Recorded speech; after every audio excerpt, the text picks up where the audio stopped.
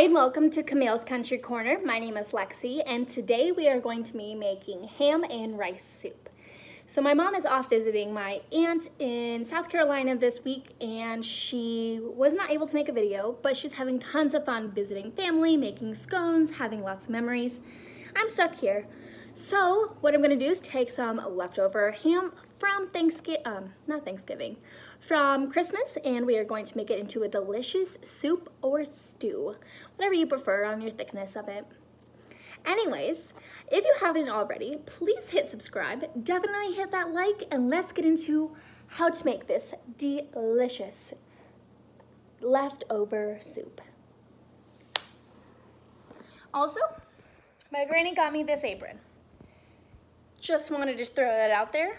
Best apron ever. It's got little pockets. All right, let's get into it. For this recipe, you're going to need rice, garlic, chicken stock or chicken bouillon, a potato, onion, celery, carrot, leftover Christmas ham, some spices, and some water. Let's get this soup up and running. I am so hungry. All right, so what I'm going to start doing now is just chopping all my vegetables. This is the best part of doing soups and stews is all you have to do is like chop up stuff, throw it into a pot, flavor it, boom, dinner. So I really like this version or like a similar version than what my mom would make for me is when she had leftover like Christmas ham or turkey, she would make it into a soup and I asked my stepmom yesterday if she would bring me over some of the leftover ham from Christmas. So that's what I'll be using. So I did two ribs of celery. I'm gonna take my carrots. Mine's a little bit chunky. I don't know if we can see. Thick boy. I'm gonna cut it in half so we have half moons. But I want everything to be around the same size so that it all cooks around the same time.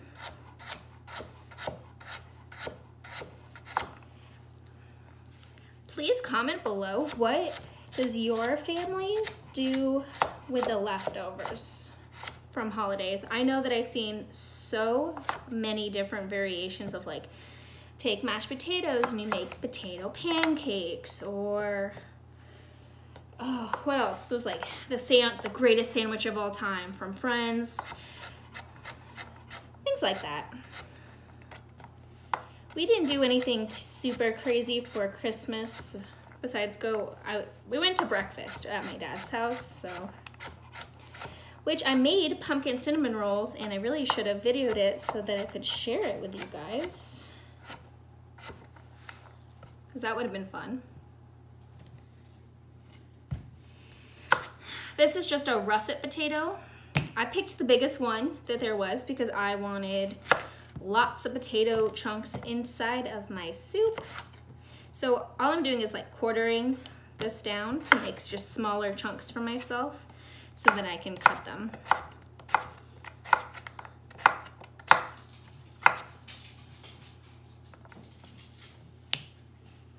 This boy is a little bit big. Even smaller. There we go.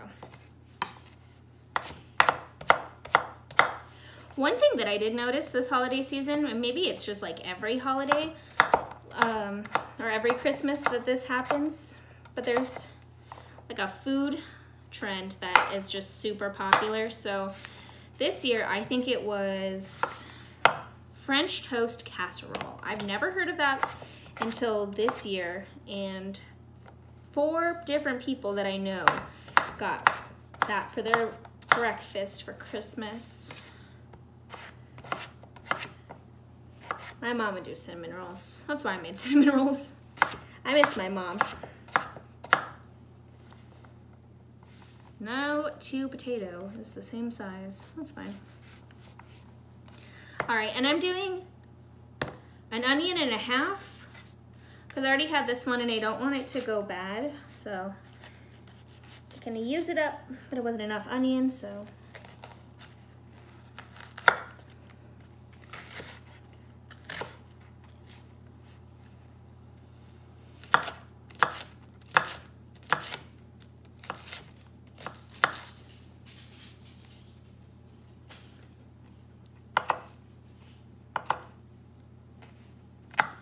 This is not the knife that I typically use and it's throwing me off and I can't find the knife that I like.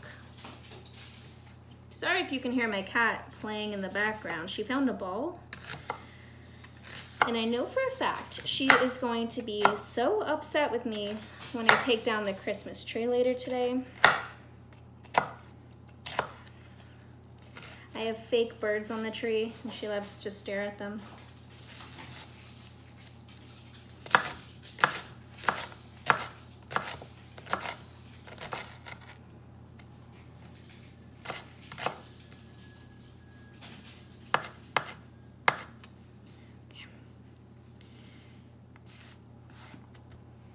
All right, beauty of this recipe. I'm just gonna throw this into a pot with a little bit of oil and some ghee, and we're gonna toast them all up and sweat those onions out, and we're gonna add some liquid. So let me just move you over there.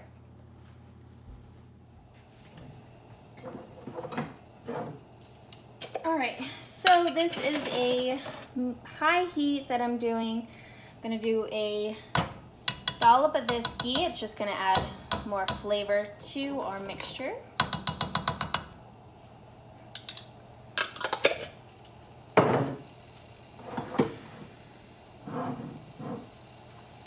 Actually gonna use olive oil for the rest of it.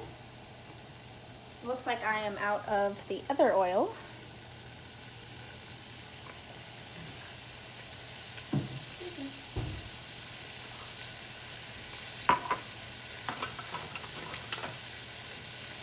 Hocus Pocus mixie, and I'm just gonna stir this up. Get this going.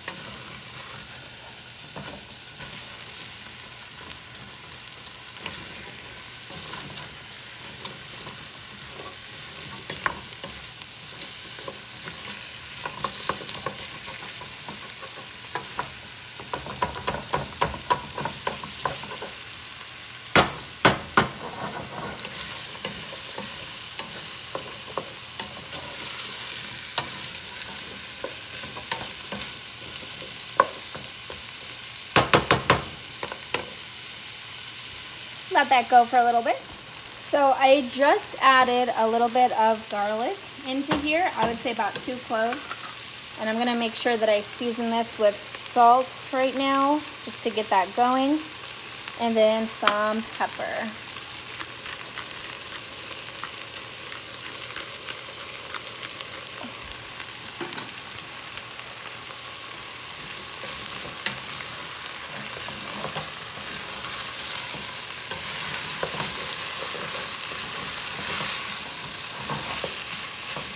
My onions are now becoming translucent. So I'm gonna go ahead and add some water.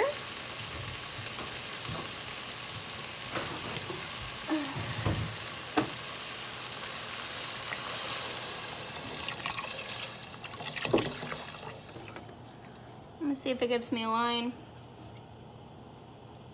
Two liters of water, or two quarts can always add more if I need to.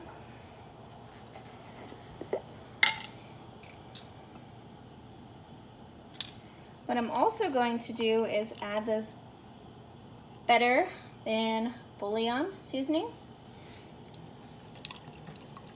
And this one is chicken stock. So I want it to be a very flavorful soup.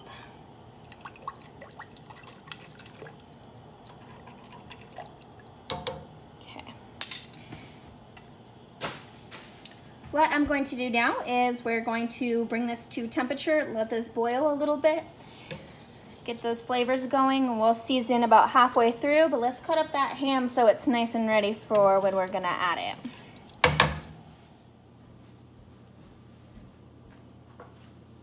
So I just have some regular spiral ham here. I'm literally just gonna make this into little, little bites. I don't know if I want like the sugary part that comes on the ham. So I'm probably gonna just eat that as a little chef snack as I'm making this.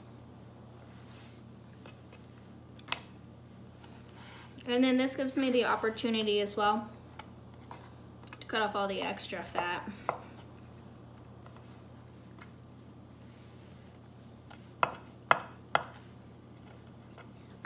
I'm going to chunk up the rest of this ham.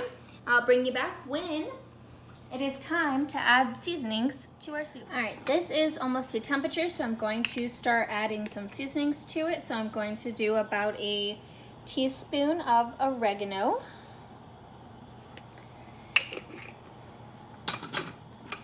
Teaspoon of basil.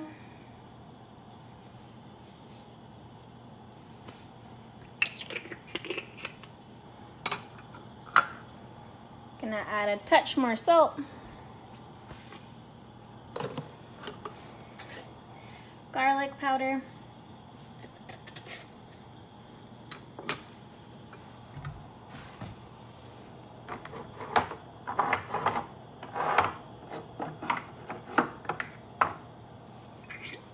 Parsley, about a half teaspoon.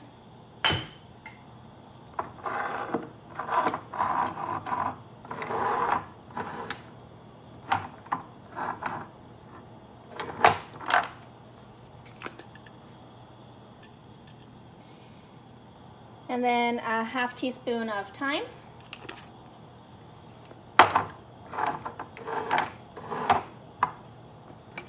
And then a couple dashes of hot Hungarian paprika. Seeing if there's anything else that I would like to add to this today. So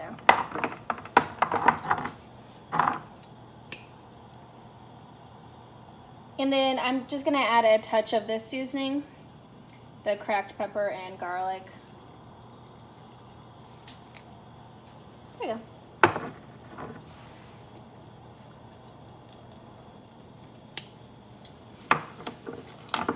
And then just put in some more pepper.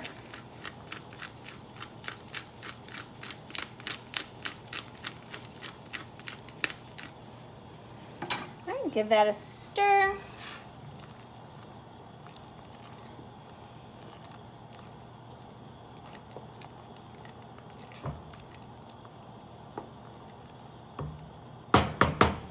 Beautiful. All right, I'll bring you back as this soup continues. All right, this has been going for a little bit. I did add the ham to it to just steep in some of that delicious flavor that was going on. So we're gonna give this a try before I add in the rice, and I might add a tiny bit more water just because I know the rice is gonna soak up everything, but like, look at that spoonful. And I did turn this heat down to a medium, but I have a gas range, so it just is as powerful as it was high.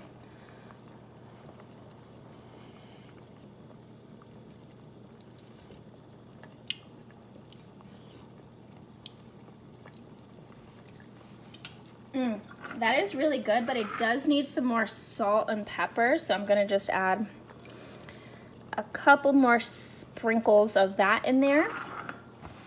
And then let's get some pepper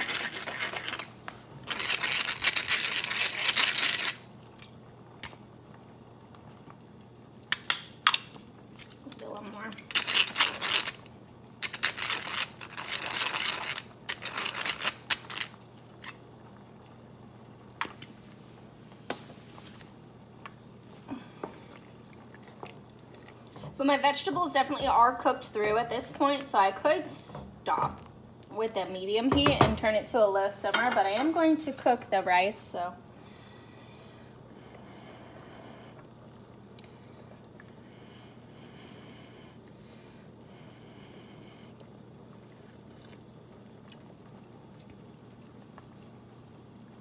Oh, that's nice. All right, let's add the rice.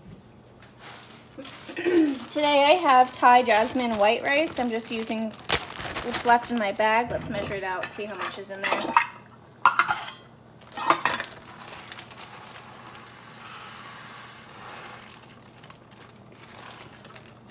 All right, it's a little less than half a cup, so I'm just gonna dump that in.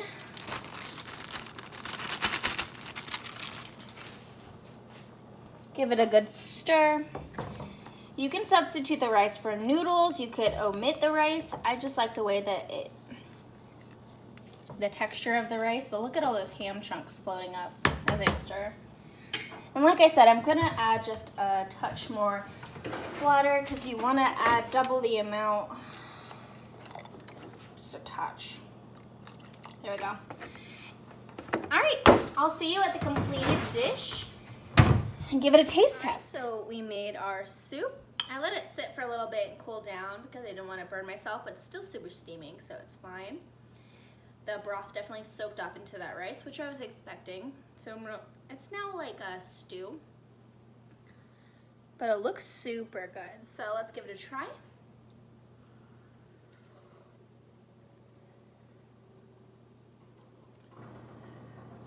Burn my tongue a little bit.